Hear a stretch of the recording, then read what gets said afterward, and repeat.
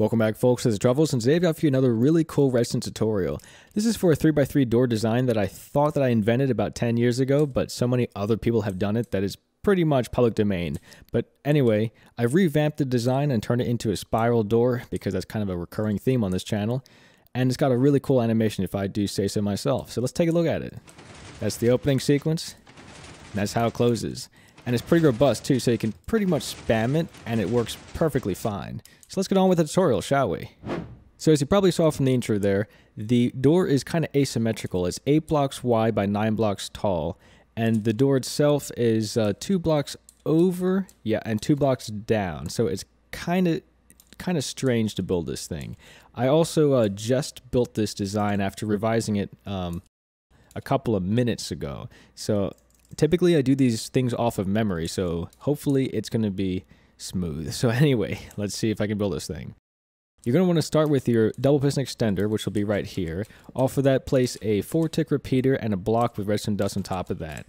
Then on top of that repeater, place an observer with a uh, note block diagonal to a block that you place on top of it. Then below that, place another observer. Of course, for this, you could also use a, um, a redstone lamp. That will be more uh, versatile for different situations, and uh, you'll see what I mean later on. I'll be placing a falling block right here, like sand, and uh, a block of gold. Except this one, for this one, I'm using yellow concrete powder because it looks kind of nice with the gold. All right. So for our frame blocks, you're going to need two columns or three pistons on either side, one here and one here. and you're going to need one more piston on the top facing downward. And again, I'm going to be using our gold blocks to line it.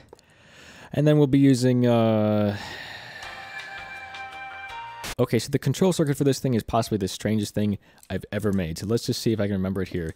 You're going to want to place a block next to that um, observer with redstone dust on top of that. This will be powering a note block, which you need to take signal off of with another observer. That goes into a block, uh, I believe.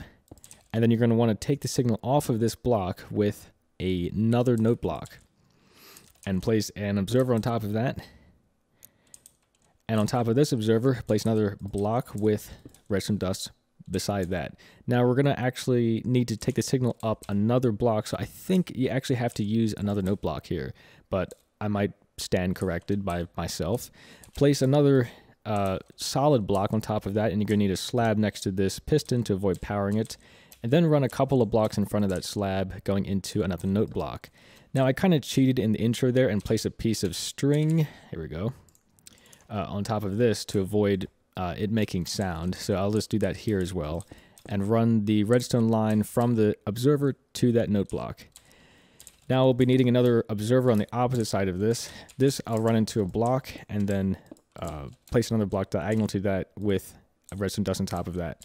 Now this technically powers this piston, so you can either place another piston on top of this or you can just simply run redstone on top of it to avoid BUD powering issues. That's what I'll be doing this time. And uh, I'll also be replacing this, whoops, with uh, with a note block so that we can pull signal out of that using an observer, which will be facing downwards into another block. So yeah, that, I believe that's the door done. So let's just give it a whirl. Uh, you'll need to power this directly with a lever or a, uh, a redstone repeater. And it looks like we got it right on the first try. So that's pretty cool.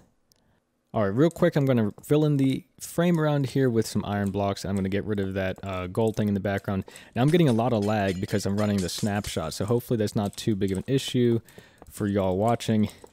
Yeah, there's a lot of lag in this snapshot, so sorry about that. Now, anyway, let's talk about powering this. So, like I said before, you can place a note block here, and that's perfectly fine if you want to have the door close when you input a signal. Now, if you wanted the door to be completely silent and you wanted to have the door open when you give it a signal, uh, like my previous door design, you can just give it a short uh, pulse there to invert the phase of the door. So now you might have noticed the note block there fires every time that you open the door. So a very quick fix you could do for that is just to replace that with a redstone lamp. And uh, as you can see there, our middle has just fixed itself by replacing that block. And there we go. Now we don't have that issue anymore.